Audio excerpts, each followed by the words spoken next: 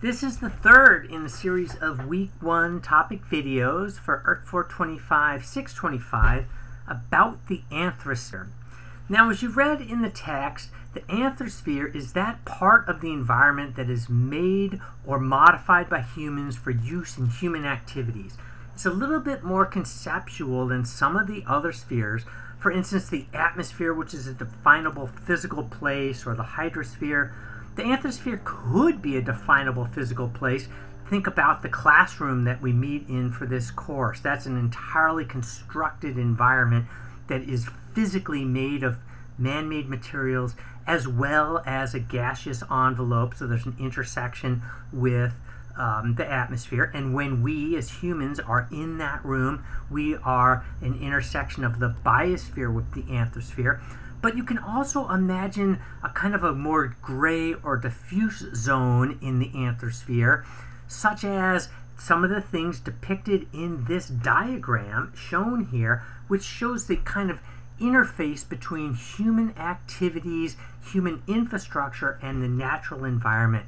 So think about every painted surface that we expose to the atmosphere to exchange chemicals with either the gaseous envelope or with through flowing water during rainstorms. Think about the land masses near freeways. We've got material transferring from vehicles, coming off the tires, coming off the brakes, chips of paint, stuff eroding off the roadway. Most of that stuff is transported and deposited very close to the roadway, but not on it itself. And so that kind of interface zone between the road and the neighborhood the road goes through is also in some ways a part of the anthrosphere, as are areas under and adjacent to runways at airports. Um, think about uh, areas in harbors, for instance, when we dredge a harbor to deepen it, um, we recover materials that often include the legacy chemicals of human activities. Imagine radionuclide contamination that's been released to the atmosphere in gaseous form and then deposits on the landscape in large crises like Chernobyl. These materials can be deposited hundreds of kilometers away from the source of the accident. So in that case, and for that incident, the anthrosphere extends quite far from the location where the uh, material was input into the environment. In other cases, the anthrosphere may only extend a few tens of meters away.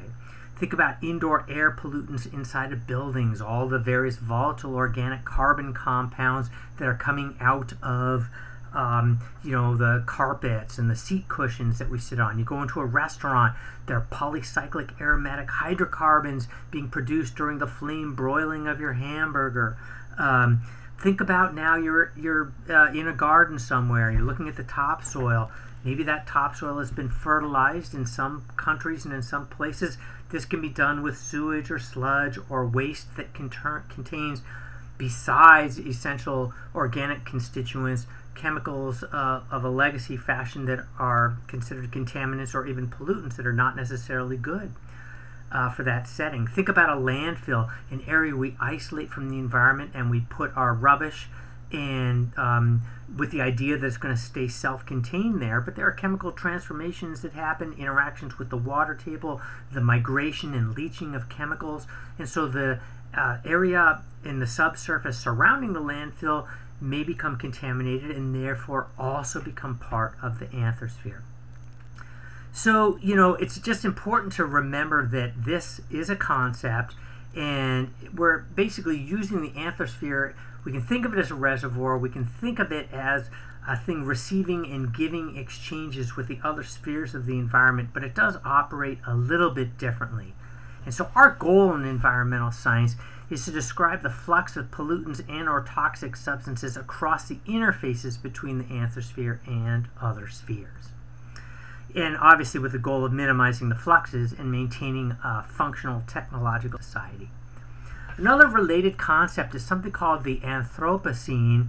Most of you, or maybe all of you, are aware that the geological time scale is divided up into various eras and epochs, and these are recognized by different types of rock formations, oftentimes separated from one another by major events changes in the type of flora and fauna seen on the Earth, changes in the environmental conditions, hot or cold, for instance, on the Earth.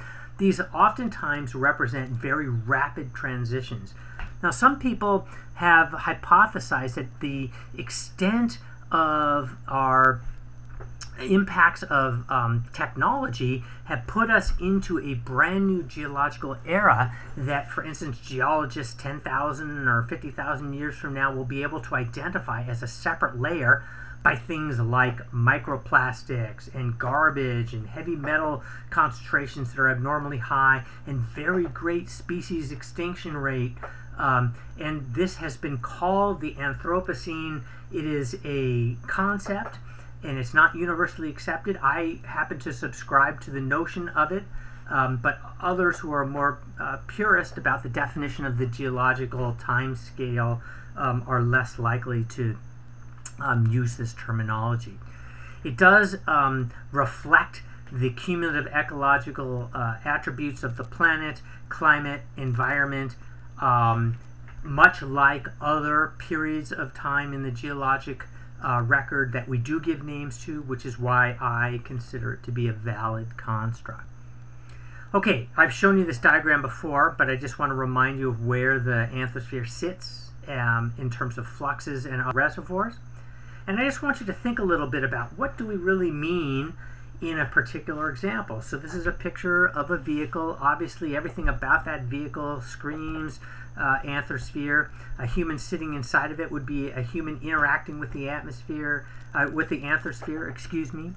Um, and you can see that that vehicle is sitting on the ground and it's sitting in the atmosphere. And I've drawn some arrows on there to represent the potential fluxes that go between the vehicle and the atmosphere or the vehicle and the um, uh, uh, geosphere. So for instance, there's a, I ask you the question of, you know, what do you think they could be? I'll just throw out some ideas. For instance, the yellow arrow going from the atmosphere into the car, that could be oxygen from the atmosphere being used to burn uh, fossil fuel in the engine. You can also see uh, an arrow going from the ground into the car. That would represent the extraction of fossil fuel itself and its refinement to put into the vehicle. You can see an arrow coming out the back of the vehicle into the atmosphere. That would be automobile exhaust and its various chemical compounds. And you can also see a flux arrow coming from the vehicle down into the geosphere. That might be, for instance, spilled oil or other fluids that leak into the soil and ground. And there are other ones, obviously, but one of the things, goals, is um, you know to have efficient modern transportation that minimizes these fluxes. Now, finally, I just want to bring up the idea of industrial ecology, which has made a, a major transformation over the last sort of half a century to maybe a little bit more in the sort of post-World War II um, era where coming into that from the start of the Industrial Revolution into World War II, there was this idea of a sort of a one-way pathway where factories, represented by that kind of stack of bricks with a smokestack coming out of it, um, would take raw materials from the environment, refine them, make stuff, whatever that stuff was, you know, a can of Coke or a washing machine or what have you, and um, produce the product as well as some emissions, and those emissions could go into the atmosphere or they could be solid or liquid emissions as wastes. And as I say, until recently, these waste streams were just produced and energy was wasted in the process and they would just go into the environment. We've subsequently realized that not only are we fouling our environment, but we're putting potentially important raw materials that could be used by other industrial processes back out into the environment rather than saving them. And it turns out that many of these fluxes from these human processes from the atmosphere back into the environment have lots of unpredictable uh, consequences, many of them much more extreme than we ever anticipated, acid rain being a great example.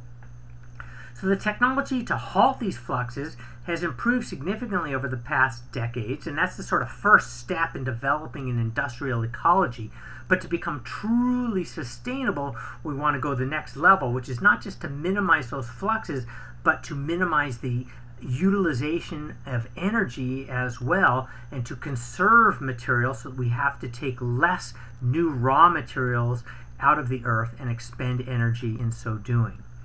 So this is a kind of a sequence of events that shows you how um, we've migrated from kind of starting with um, this uh, single directional extraction method to a system where we employ remediation, which is cleaning up of our waste streams, not necessarily reusing the materials, but at least cleaning them things like scrubbers on smokestacks and ways of accumulating uh, fluid and solid waste and scrubbing out some of those chemicals, concentrating them, for instance.